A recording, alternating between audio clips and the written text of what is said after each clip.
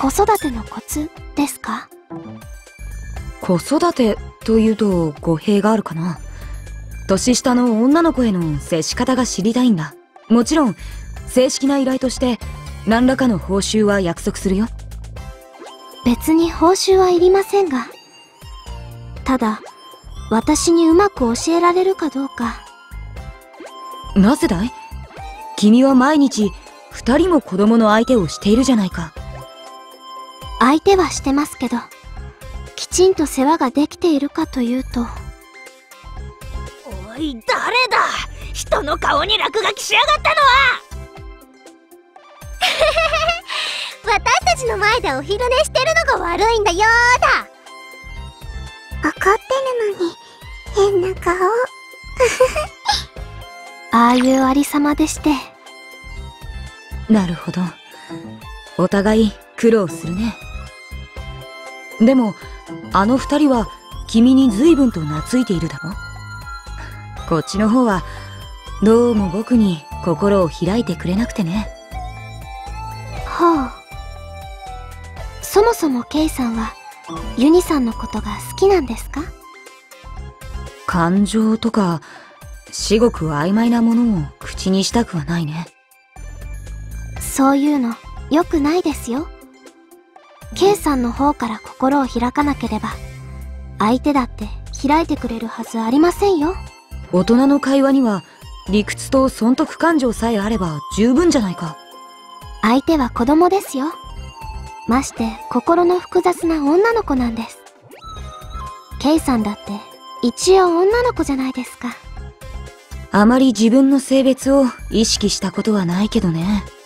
ふん参ったな君の言ってることが正しいとしても僕には実践できそうもない。そんな難しいことじゃないですよ。いいことをしたら褒めてあげて悪いことをしたら叱ってあげて。あとはたまにケーキでも買ってきてあげればいいんです。そのケーキは何らかの報酬として？違いますよ。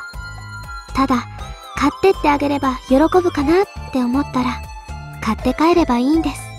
無条件の行為というわけか。理解しがたいな。頭で考えてばかりいないで一度試してみればどうですか？うん。ややあユニ。帰ってきてたのかい？は出かけてたのは K の方じゃない。どうしたの？なんか挙動不審だけど。そんなことはない。えっと帰り際に美味しそうなケーキを買ってきたんだが一緒に食べないかい？ケーキ？ケイが？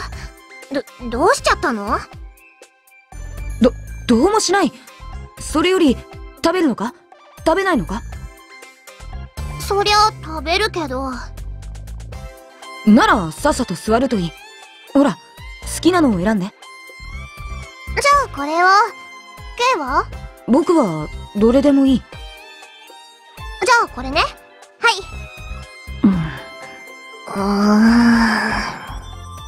い。うん。なんだい？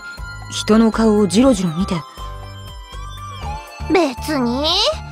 ただ二人でケーキ食べるなんて初めてだなーってそんな嬉しそうな顔しなくても。